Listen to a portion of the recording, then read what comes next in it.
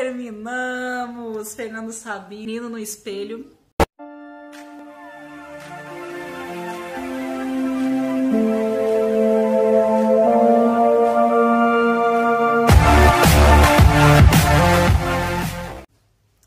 Ah, eu tô emocionada. Eu também, o livro é muito legal.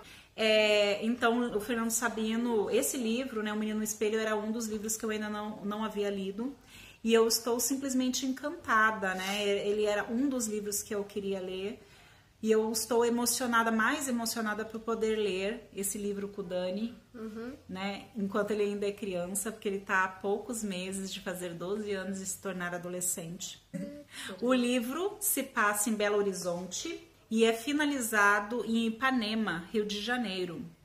É, Fernando Sa- Sabino ele tem uma lista gigantesca. Eu, eu acredito que a gente não precisa ficar dando vários detalhes aqui sobre a biografia dele. Eu acho que é, vou falar o básico e que os alunos devem procurar saber mais sobre esse autor e sobre as suas obras, porque ele escreve com maestria. Eu não tenho nenhuma observação negativa para fazer sobre as leituras dele, né? São só pontos.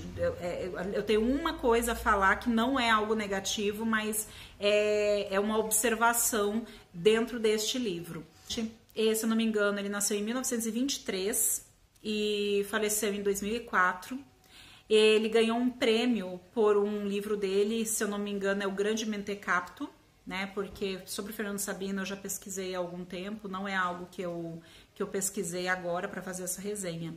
Então vou me ater a esses detalhes aqui sobre o Fernando Sabino. Dentro dos capítulos desse livro, o que mais é, para mim me emocionou é, eu não vou poder, obviamente, escolher um único. Para mim é o prólogo e epílogo. Então, o prólogo e o epílogo são o- os momentos, né, o- o- os textos escritos dele que mais me tocaram e me emocionaram pela maestria de encaixe é, do começo, né, da apresentação e do término, né, do fechamento, do ponto final desse livro.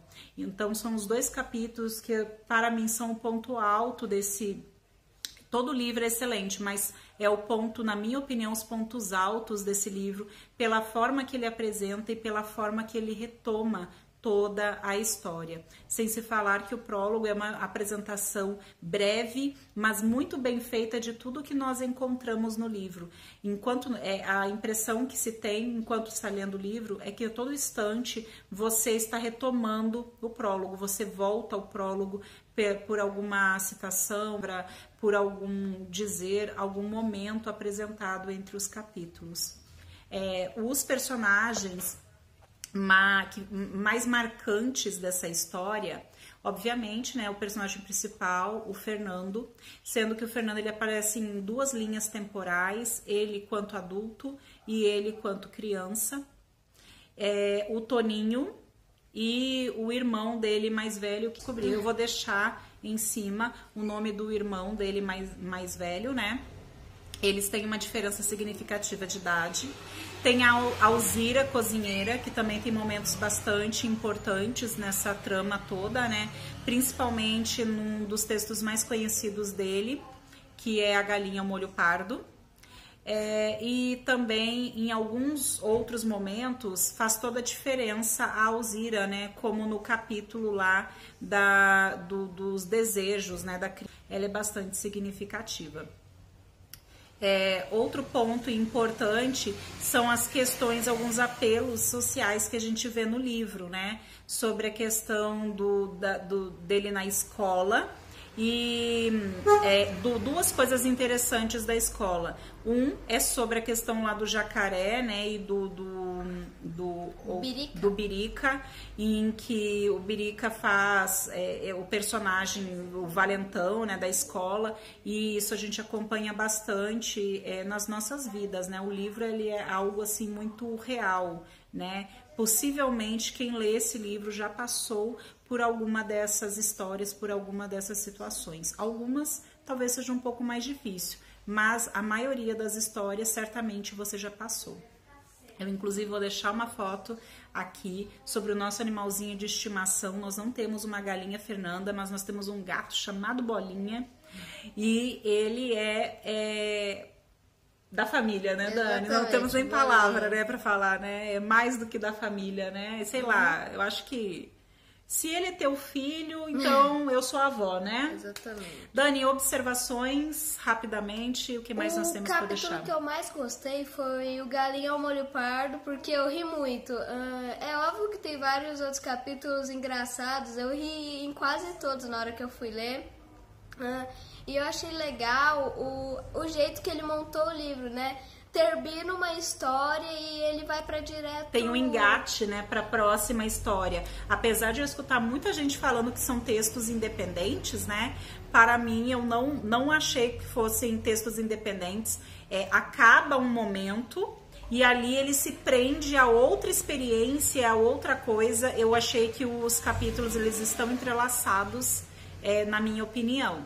É, termina um capítulo e começa outro. Tipo, ele Uh, tem uma coisa incrível em um capítulo e no outro ele. Ele consegue se superar, né? É, ele... Tem algo mais incrível, uma vivência mais incrível, né? E ele começa falando. E depois desse dia aconteceu algo melhor ainda, algo do gênero.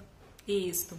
O capítulo em, do primeiro amor dele é o capítulo que eu achei que não veio tão rico de detalhes não é uma crítica, não achei que está faltando nada no capítulo, mas eu achei que é um capítulo que ele não veio tão detalhado como os outros, né? Os outros, você, se você fechar os olhos e ficar imaginando a história, você tem tudo com perfeição, todos os elementos, um cenário, um vento, um frescor, uma questão da luminosidade, é, um detalhe na aparência, você tem riqueza de detalhes. E aí eu achei que por exemplo, a Cíntia não foi tão bem detalhada, eu não entendi direito muito bem como ela era fisicamente.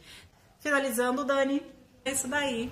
Muito obrigada a todos. Não deixe de dar o seu like, não deixe de é, deixar o seu comentário e a gente é, agradece muito de coração se você deixar uma sugestão aí de livro. Deixe aí o seu livro. Qual livro que você quer que a gente leia?